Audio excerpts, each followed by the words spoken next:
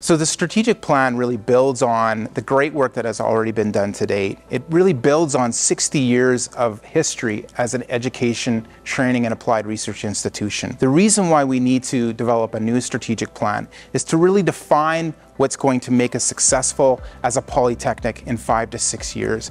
We want to be bold, we want to be ambitious, and we want to ensure that we are a nationally recognized, globally relevant, highly successful polytechnic for service to our students, our community, and our industry. So what we've been doing over the last year is really as a community listening and talking. Our strategic plan is going to be built around strategic drivers. Strategic drivers are going to be built on areas of focus that have really come forward as a result of the work that's been done to date.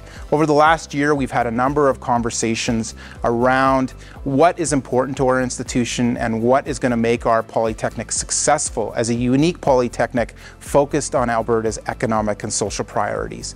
So these areas of focus are program mix and delivery, learner impact, research and creation, brand recognition, enhanced partnership, and employer of choice. And we want to build our strategic drivers, our objectives, our priority actions, and our targets in a way that really reflect those high level six areas of focus. It's important that as an institution, we think big, and our strategic drivers are intended to be bold, statements that will really position us as a nationally recognized polytechnic. And so when you see targets like in increasing enrollment by 50%, increasing investment by 200 million, those are goals and ambitions and targets that I think we can achieve over the next five to six years as we think big as a nationally focused and globally recognized polytechnic. So over the next couple of months, as members of the RDP community, you're going to have the opportunity to provide feedback into the strategic plan.